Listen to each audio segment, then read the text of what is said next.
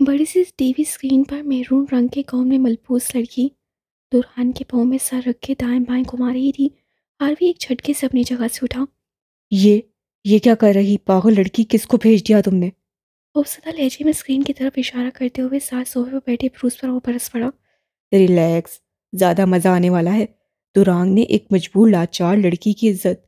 Bruce ने बुलंद बांग कहका लगाया। आरवी उसकी बात पर दिल मिलाकर पलटा। ये मंगोलिया होटल का एक शानदार कमरा था, जिसमें इस वक्त वो दोनों मेज़ पर रखे लैपटॉप के ज़रिए दुरान के कमरे में लगे कैमरों के मनासिर पर आसानी देख रहे थे।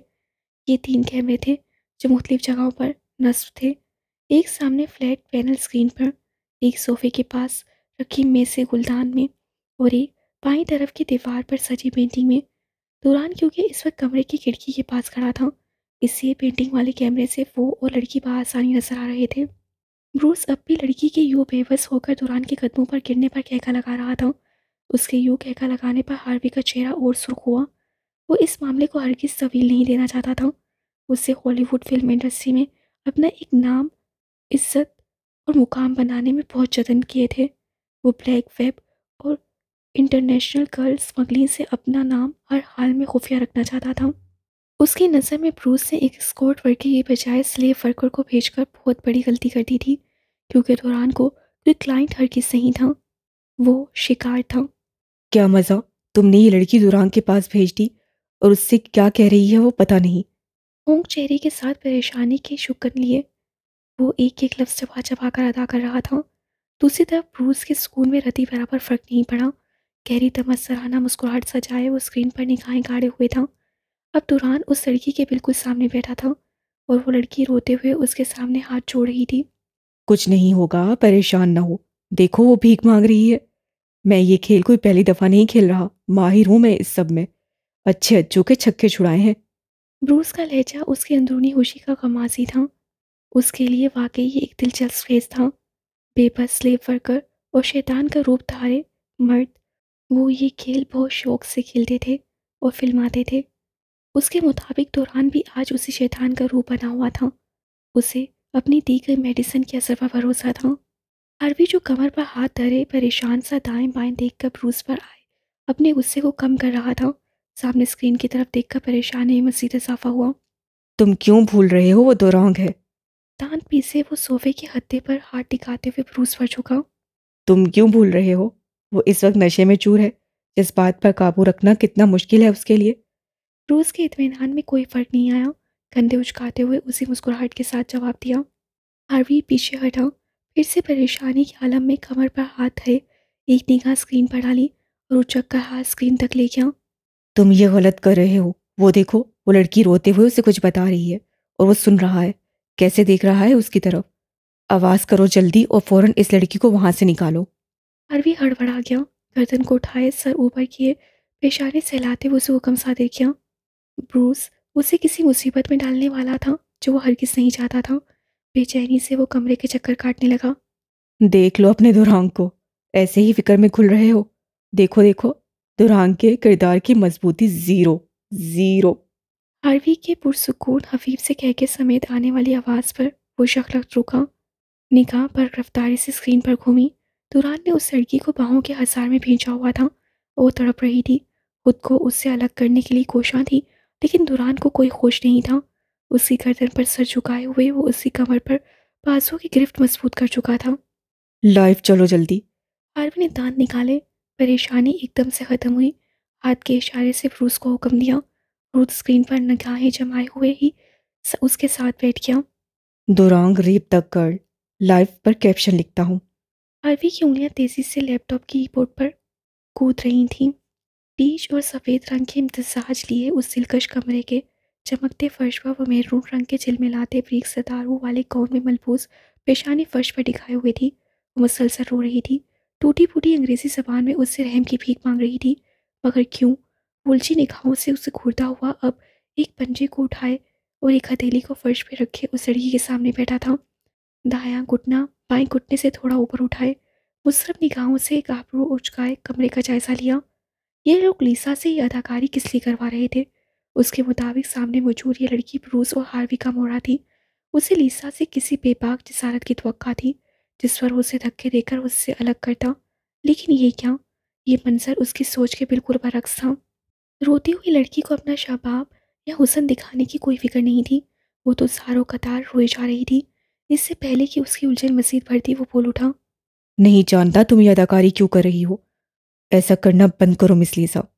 दुरान ने रवानी से अंग्रेज़ी ज़ुबान में कहा, वो जानती थी, उसके सब तक तो बेकार हो जाएगी।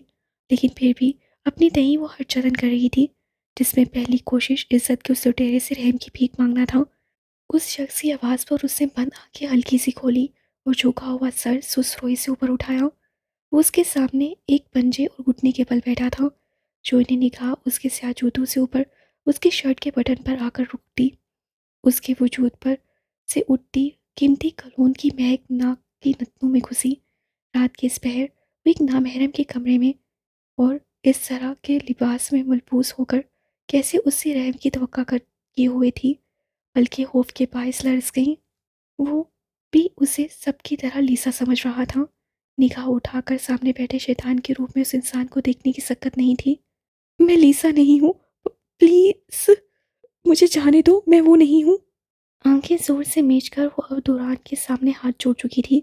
वही टूटी फूटी अंग्रेज़ी ज़ुबान, दुरान जो उसे कोई मगरबी लड़की तस्वर किए हुए था, उसके सर उठाने पर एकदम गैर मुतहरिक हुआ। वो आँखें बंद किए, आंसुओं से दर चेहरा लिए हुए थी। जो बात दुरान को यूँ सागिन कर गई थी, सामने बैठी लड़की का मशरकी रंग और रूप नहीं था, बल्कि उससे शनासाई का एहसास था। ऐसा क्यों लग रहा था?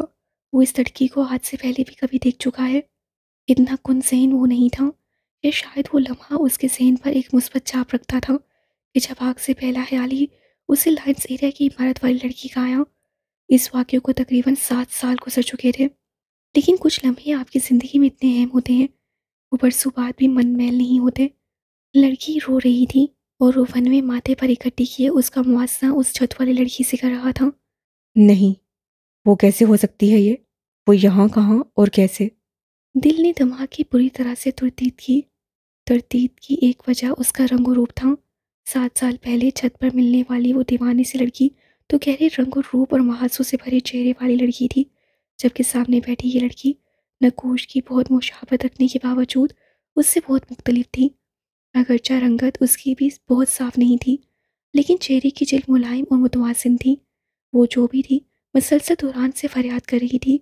और उसको ये बता रही थी कि वो लीसा नहीं है। उसकी जगह यहाँ गलती से आ गई है। अगर वो ये सब ना भी बताती दुरान तब भी उसकी सोच को परखते हुए उसकी बात पर यकीन कर चुका था कि वो सच्ची है। बहुत मजबूर है और इस वक्त किसी मुसीबत में गिरफ़्तार है।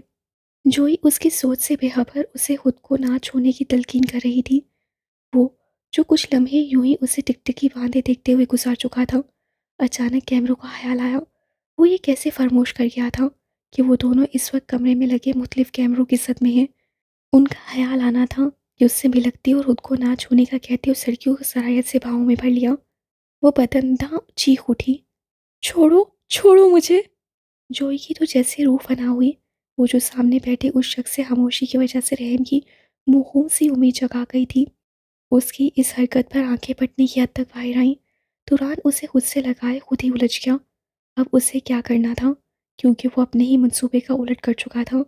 क्यों कर चुका था ये नहीं जानता था। लड़की तो उसकी गिरफ्त में पूरी मसामत पर उतर आई थी। वो दौरान से जुड़ी उसकी पुष्प पर लगातार मुक्के और थप्पड़ चढ़ रही थी। उसे खुद से अलग करने की कोशिश में वो अपनी पूरी कुवत लगा रही थी।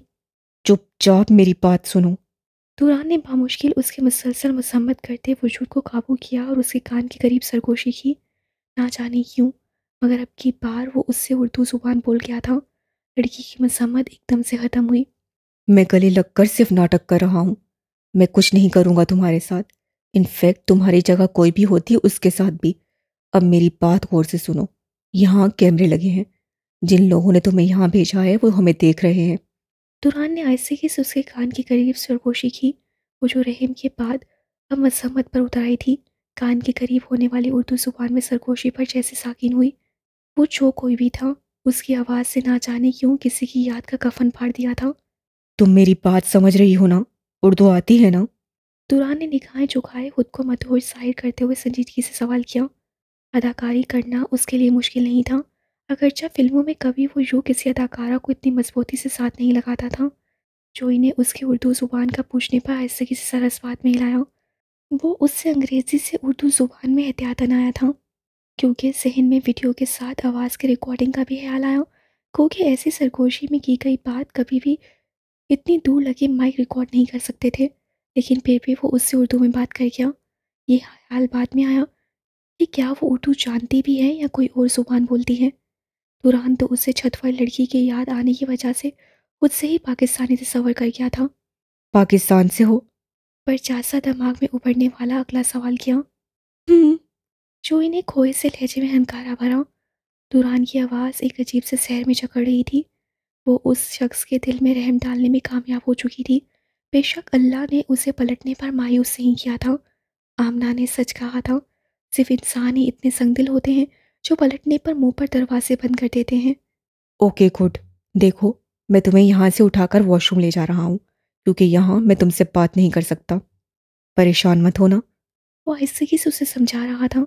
चंद सेकंड्स में ही वो सोच चुका था, उसे क्या करना है? वो एकदम से अपनी जगह से उठा, पीछे हुआ। जो की आँखों की पुतलियाँ जो पहले ही उसकी आवाज़ सुनकर सुकूत की हालत में पूरी खुली हुई थी, उसके पीछे होने पर निगाह उसके चेहरे पर पड़ी।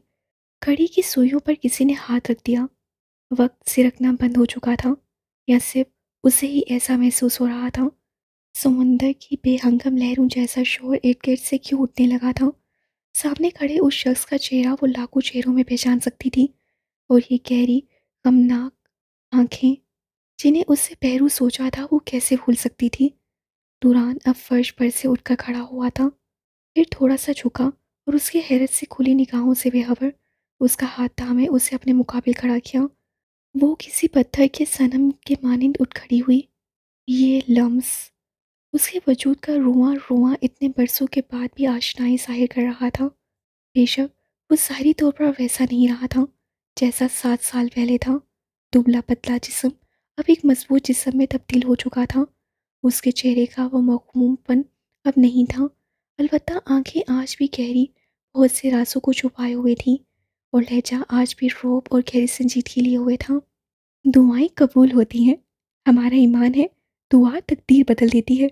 कबूलियत का एक वक्त मुकर है और वो वक्त वो ही जानता है, जिसके गुन कहने से काया पलट जाती है। वक्त रुक जाता है, समंदर दो हिस्सों में बट जाता है, ज़मीन फट जाती है, जालिम गर्क हो जाता है और हज़रत ईसा को ज़िंदा ऊपर उठा लिया जाता है। हम मुसलमान मूर्सों पर यकीन रखते हैं। आमना की आवाज़ कमरे के हर खोशे से गूंजती हुई महसूस हो रही थी। दौरान उसका हाथ में उसे अपने करीब कर रहा था। अल्लाह ने उसे करिश्मा दिखाया था। अपनी ताकत का बेशक कोई मुसीबत बड़ी नहीं होती, सिर्फ़ वो बड़ा है। उस तलतल में जहाँ वो इतने दिनों से धस रही थी, अल्लाह ने उसका मददगार भेज दिया था। और वो भी कौन? वो शख्स जिसे उससे रूह की गहराइयों से चाहा था, जिसे रात को जाग कर बेलकोनी पर सरे शाम खड़े रहकर छत पर टूटी ईंटों को तकते हुए सोचा था, जिसे पैरू खोजा था, जिसे क्लिसाओं में स्लीप की नोक पर माथा टेक कर मांगा था। जिसकी खोज में लगी वो अल्लाह से जुड़ी थी, जिसकी एक झलक के लिए चाहे नमाज़ पर सस्ता शेर रात के दरमियानी पहर में मांगा करती थी। उसकी दो दुआओं की कबूलियत की खड़ी एक ही थी। दुरान ने एक झटके से उसे गोद में उठाया। वक्त ने रेल का सर छोड़ा। तो वो घूमकर मासी को उस घड़ी से जा टकराई। वो घड़ी जो आज तक उसके दिल के नेहा हानों में किसी कीमती याद की तरह सजी थी। वो उसे उठाए छत से नीचे फेंकने के लिए जा रहा था। दुआएँ कबूल होती हैं हर मुसीबत में, हर परेशानी में हम अल्लाह को पुकारते हैं, लेकिन उसका शरीक नहीं ठहराते। बेशक उस सात पाक का कोई हम सफ़र नहीं है। और शरीक ठहराना गुनाह कबीरा है। आमना की मीठी आवाज़ गूंज रही थी। दुरान उसे गोद में उठाए कमरे में मौजूद वॉशरूम की तरफ़ बढ़ रहा था। ये ये कहाँ जा रहा है उसे उठाकर? आरबी ने हाथ का इशारा सामने स्क्रीन की तरफ़ किया और गड़बड़ाकर साथ बैठे ब्रूस से सवाल किया। दुरान ने जोई को बाहों में उठा रखा था और वो कमरे से मुलाकात ड्रेसिंग रूम की तरफ़ था। ब्रूस जो तबानिया से सोफे की वुज से टेक लगाए हुए आँखों में पता की चमक लिए हुए था उछल कर आगे हुआ। डैमिट वो उसे वॉशरूम लेकर जा रहा है। रूस से ज़ोर से सोफे के हत्थे पर खूंसा चढ़ा। आरवी ने तेज़ी से सर घुमाकर उसकी तरफ़ सवाल नसों से देखा। उसके चेहरे पर मायूसी रकम थी। वहाँ कैमरा नहीं है। आरवी के सवाल करने से पहले ही जवाब दिया। एक दो तीन चार दस पंद्रह मिनट आधा घंटा। वो हाली कमरे की वीडियो पर मुंतजिर निगाहें जमाए बेचैन बैठे थे। ऐसे जैसे कोई दाना डालने के बाद शिकार का इंतज़ार करता है रोज़ की एक टांग बेचैनी सेल रही थी। इंतज़ार की कोफ से हार्वी की पेशानी पर पल गहरे हो रहे थे। वॉशरूम का बंद दरवाज़ा मुँह चुरा रहा था। ये क्या कर रहा है इतनी देर से? निकलते क्यों नहीं? और उस लड़की को देखा पहले कैसे तड़प रही थी और फिर दुरांग को देखते ही कैसे फीटा हुई हार्वी ने चिड़कर पहलू बदला। स्टीफन बार बार फ़ोन कर रहा था। जितनी बेचैनी उनको थी उससे बढ़कर उसको थी। वो उनके काले धंधे से तो नावाकिफ था लेकिन उससे इस सारे मंसूबे में पैसा लगाया था। रिलैक्स। रू से पुरसोच निगाहें लैपटॉप पर जमाई। Shut up. जिस चीज़ का रिलैक्स? आधे घंटे से ही हाली कमरा देखकर सब भाग गए हैं जितने भी देख रहे थे। हार्वी ने बदमजा सूरत बनाई वो सिली निगाह ब्रूस पर जमाई जब तेज़ी से अपनी गोद में खुले लैपटॉप की कीपैड पर उंगलियाँ चला रहा था। तुम क्या कर रहे हो अब? उसके पिछले क्लिप को काट कर अपलोड करने वाला हूँ। ब्रूस से मिना उसकी तरफ़ देख के मगन से अंदाज में जवाब दिया। वो दौरान के चोई को गोद में उठाने और गले लगने वाले मंजर की वीडियो काट कर एक क्लिप तैयार कर रहा था। आरवी ने निगाहें फिर से स्क्रीन की तरफ़ घुमाई। वॉशरूम का दरवाज़ा अभी तक बंद था। उसका चेहरा गुस्से से सुर्ख हुआ। बेचैनी से अपनी जगह से उठा और मेज़ की तरफ़ बढ़ गया। स्याह आसमान पर सितारे बिना चाँद के टिमटमा रहे थे और आसमान से नीचे ज़मीन पर उस आलेशान बंगले की ना सिर्फ़ बत्ती जल रही थी, बल्कि एक माँ का दिल भी जल और गुड़ रहा था। कुशीदा कमरे में मौजूद लकड़ी के बेड पर पंद्रह साल तोसीफ सर पर सफ़ेद पट्टी बांधे आँखें मुंदे लेटा था। हल्के ग्रे रंग का कंबल सीने तक हो रखा था। उसकी रंगत सर्दी माइल थी और पेशानी तक आई पट्टी पर लाल बड़ा धब्बा था। बेड के बाई तरफ़ लगे सोफे पर सरकारी बॉयज़ स्कूल के हेडमास्टर और तुसीफ के वालिद अबरार अमजद उतरा चेहरा लिए बैठे थे, क्योंकि सोफे के बिल्कुल सामने और कमरे की वस में खड़ी उनकी बीवी उन पर चीख रही थी। आपने अभी तक उस लड़के को स्कूल से क्यों नहीं निकाला? मैं आपकी जगह होती धक्के मार कर उस लड़के को स्कूल से निकालती। बल्कि पेड सर्टिफिकेट भी देती। जज्बाती मत बनो नहीं निकाल सकता उस लड़के को स्कूल से। अबरार अमजद ने लहजा धीमा रखते हुए कहा और मुझसे अंदाज से पेशानी से लाई। क्या मतलब नहीं निकाल सकते? अपने बेटे का हाल देखें। कैसे बेसुध पड़ा है मेरा बच्चा? उस जालिम पागल लड़के की वजह से। वो रूहान सी हुई। परेशान सी निगाह बेड पर लेटे तोसीफ पर डाली जिसके सर में बल्ला लगने से सर में चार टांगे लगे थे। खून बहुत बहा था। जिसकी वजह से वो नकाहत का शिकार हो गया था। अब भी अदवायात के सिर ऐसा सो रहा था। तुम भी अपने बेटे की तरह जज्बाती हो। समझने की कोशिश करो। ये मामला इतना सीधा नहीं रहा है जितना तुम समझ रही हो। अफरान ने परेशान लहजे में वजाहत दी। तमाम अकलीती स्टूडेंट्स तो एक तरफ़ आधे से ज़्यादा स्कूल तो सिर्फ़ के खिलाफ एहतजाज पर उतर आया है। उस लड़के ने ऐसी ज़रूरत दी है सबको कि जो लड़के कल तक उसके डर से कामते थे वो भी बढ़ चढ़ कर उसकी की कई शिकायतों पर बोल रहे हैं। इब्रार अमजद तैश में आई अपनी बीवी को स्कूल के तमाम हालात जगा कर रहे थे। इसका बस सही चल रहा था कि अपने बेटे का ऐसा हाल करने वाले बच्चे का गला दबा दे। तुम मुझे उसे स्कूल से निकालने का कह रही हो? मुझसे पूछो जो दो दिन से स्कूल आने वाले बच्चों के वालदेन और एहतजाज से निबट निबट कर थक गया हूँ। उस लड़के को स्कूल से निकालने का मतलब है आधे से ज़्यादा बच्चों को स्कूल से निकालना। मेरे खिलाफ बात ऊपर तक जा सकती है। इब्रार अहमद उसे समझाते हुए एक झटके से सोफे पर से उठे। वो अपने यकीन से इब्रार की तरफ़ देख रही थी। इसलिए कह रहा हूँ सुकून करो। उस लड़के को स्कूल से निकालना इस मसले का हल नहीं। उसको और तरीके से भी सबक सिखाया जा सकता है। तुम फ़िलहाल उसको अकल दो। अब वो अकेला नहीं है। बहुत से खड़े हो गए हैं उसके साथ। ये स्कूल में अपनी गुंडागर्दी छोड़ दे। अबरार ने एक निगाह फिर से पेट पर डाली और तेज़ी से कमरे से बाहर निकल गया। दुरान एक हाथ से दरवाजे के हत्ते को थाम कर वॉशरूम के अंदर दाखिल हुआ। आहिस्ते किसी कोट में उठाई चोई को नीचे उतारा और दरवाज़ा बंद कर दिया। उसी तरह ट्रांस की हालत में किसी मूर्त की तरह उसकी बाहों से उतर कर अब हल्के पीच रंग की टाइल्स वाले फर्श पर खड़ी थी। वॉशरूम, आम वॉशरूम की नस्बत बहुत कुशीदा था। अलबत्ता यहाँ उनकी ज़्यादा थी। गर्म कमरे से अचानक यहाँ आने पर ठंडक अब वजूद में घुसने लगी थी। दुरान जेब से मोबाइल निकाले खड़ा था। वो शायद यहाँ किसी कैमरे की मौजूदगी को झांच रहा था जो यक तक बेयकीनी से उस काया पलट को देख रही थी। कल रात का ख्वाब सेन में घूम गया। उसको कोई खाई में गिरने से बचाने वाला कोई और नहीं दुरान था। हम्म यहाँ कोई कैमरा नहीं है।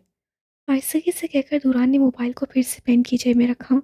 पूरी तरह उसकी तरफ़ मुतवजा हुआ उसे देखने के बाद होंक मुजस्म जैसी कैफियत में आ गई थी। एक दो तीन सेकंड तीन सेकंड सहने लिए। ये वही छत वाली लड़की है और मुझे पहचान चुकी है। हैरत इस बात पर ज़्यादा थी कि वो आज भी वैसे ही थी। तुरान ने आँखों की पुतलियों को सुखेड़ कर सर झटक कर गहरी सांस खारिज की। अब रोए बिना मुझे सारी बात बताएँ, क्या कहना चाह रही थी बाहर? कैसे पहुँची यहाँ? पुरतजस्स लहजे में पूछा, क्या इससे मुझे पहचाना नहीं? दिल को अचानक मायूसी ने आन घेरा वो, उससे अब सारी कहानी सुनना चाहता था जोई ने घबराए से निगाह उस पर डाली। आँखें। हाँ उसकी आँखें पड़ रही थी वो। ज़िंदगी में वाहिद वो था, जिसकी आँखें उसको हमेशा उलझा देती थी। पाकिस्तान में एक चाइनीज़ ग्रोह है, जो पाकिस्तान की लड़कियों को शादी का झांसा देकर यहाँ लाते हैं। मैं उन लड़कियों में से एक हूँ, जो लोग गरीब और लाचार फैमिली को पैसे का लालच देते हैं। धीमे मगर मकमूम लहजे में वो मन वन उसे अपने सफ़र की कहानी सुना रही थी। मेरी शादी भी उसी ग्रोह के एक आदमी ने एक चाइनीज़ से करवाई। उससे मुझे यहाँ लाकर बेच दिया। वो सर झुका चुकी थी। आँसू फिर से खाल पर बहने लगे थे। लेकिन अब की बार ये खामोश आँसू थे। ऐसे आँसू जो किसी बहुत अपने को दुख सुनाते हुए बह निकले। हाँ वो उसका अपना ही तो था। इस सयाह खैर में उसका बहुत अपना। वो हमातन गोश था और जो इस सर झुकाए उसे एक एक लफ्ज़ से आगा कर रही थी। वो सारी मालूम भी दे रही थी जो उसे तमन्ना ने दी थी। इस कमरे तक पहुँचने का बताने के बाद वो खामोश हुई मगर आँसू नहीं थमे। बार बार हथेली की पुश से आँसू कालों से साफ़ करती। वो इतने दिनों की भयानक मसाफत की थकी हुई लग रही थी। वॉशरूम की ठरठराती उनकी में होलनाक खामोशी कुछ देर कायम रही। वो अपने सीने पर हाथ बांधे खड़ा था। कुछ नहीं होगा तुम्हें। दुरान के ठहरे से लहजे ने खामोशी का सकूत तोड़ा जो इन्हें लब भींचे भीगी पलकें उठाई। वो लोग बहुत खतरनाक हैं। तमन्ना कह रही थी एक लड़की जब इस मार्केट में दाखिल हो जाती है, उसकी आज़ादी मौत के सिवा कुछ नहीं। सर झुकाए वो खौफसदा लहजे में उन लोगों की ताकत से दुरान को आगा कर रही थी कि गहरी खामोशी सिरकते वक्त को निकल रही थी। दुरान की पेशानी पर गहरी सोची लगी रही थी। वो बार बार जोई की तरफ़ और फिर दीवारों की तरफ़ देख रहा था। मैं शायद इसके लिए मुसीबत बन गई हूँ। दिल में टीस उठी। इतना तो वो समझ चुकी थी कि वो उसकी ख्वाहिश पर हर किसी यहाँ नहीं लाई गई है। लेकिन ये कैमरे ये सब बहुत अजीब था। उसकी शख्सियत की तरह पुरसरार। जोई ने उसे यूँ मुसलसल चुप देख कर निगाह उठाई। आ बस मेरी इतनी मदद कर दे। मुझे यहाँ से भगा दे मैं कहाँ जाएँगी इस अनजान मुल्क में? कोई है क्या यहाँ आपका अपना? दुरान ने सरायत से उसकी बात काटी। आप भला मेरी वजह से उसको मुसीबत में क्यों डालेंगे? बस इतनी मदद कर दे। वो लोग मेरी निगरानी कर रहे होंगे। मुझे यहाँ से भगा दे या फिर पुलिस स्टेशन किसी तरह पहुँचा दे। वो मसलसल सुकाम सदा आवाज़ से उसे मशवरे दे रही थी। दुरान उसे जवाब देने के बजाय जेब से मोबाइल एक बार फिर निकाल चुका था। वो नंबर डायल करने के बाद फ़ोन कान से लगा चुका था। जो कुछ उससे बताया था वो मामूली नहीं था। हार्वी और ब्रूस पर उसका शक नहीं जा रहा था। उनकी गलती सिर्फ़ इतनी थी कि उन्होंने उसके लिए कॉल कर बुक करवाने की कोशिश की थी। दूसरी तरफ़ घंटी जा रही थी और चंद सेकंड्स के तवक़ुफ़ के बाद किसी ने फ़ोन उठाया। हेलो।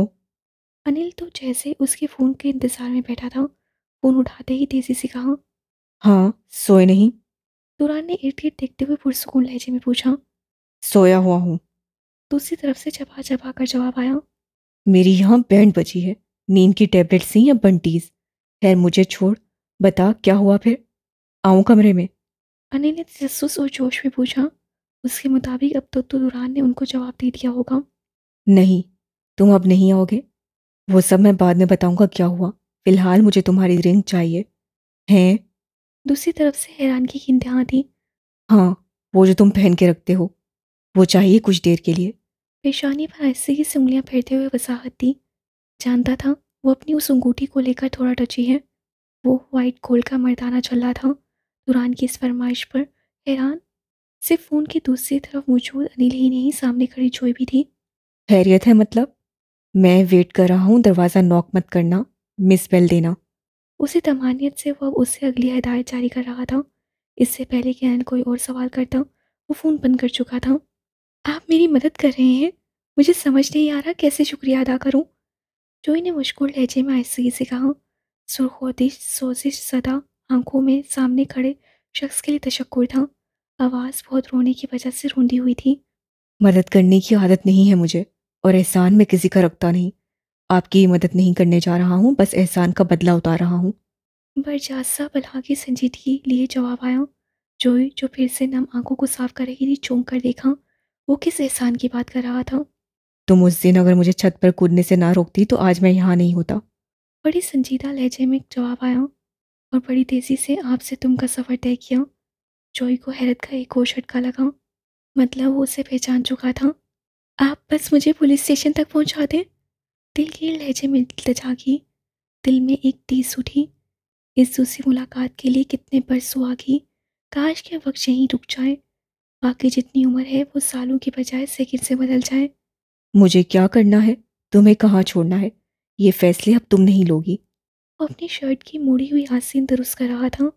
फिर क्या करेंगे आप? बेहादसा पूछा। तुम्हें प्रपोज मुझे प्रपोज खुद हादसा सरगोशी थी। वो दौरान की बात पर रचकर उसे देखने लगी थी। बड़ी बड़ी स्याह आँखें उसके बची चेहरे पर जमाए। वो पल भर को मुजस्म हुई। हैरत एक तरफ़, दिल की धड़कन के तार आज कितने अरसे बाद यूँ बचने लगे थे। दिल की ऐसी हालत वक्त सामने खड़े शख्स के लिए ही होती थी। आज परसों बाद भी दिल उसके लिए वही जज्बात रखता था। वो आसीन के पल दुरुस्त कर रहा था। निगाह उठाई तो जोई की साकी निगाहों से पल भर का तसादम हुआ। एक दो सेकंड। अदाकारी करना जानती हो? दोनों पुन में बड़े अंदाज में ऊपर उचकाए वो उससे सवाल कर रहा था।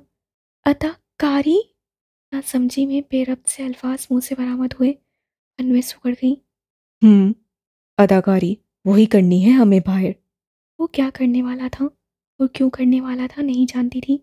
लेकिन इतना जानती थी कि उसकी गहरी आँखों में एक असम चमकने लगा है। और वो असम कुछ और नहीं जोई को बचाने का है। आमना ठीक कहती थी। कभी कभार अल्लाह फरिश्तों की सिर्फ़ इंसानों में इसलिए डाल देता है कि वो किसी इंसान को बचाना चाहता है। सामने खड़ा दौरान आज उसे इंसान कम फरिश्ता ज़्यादा लग रहा था।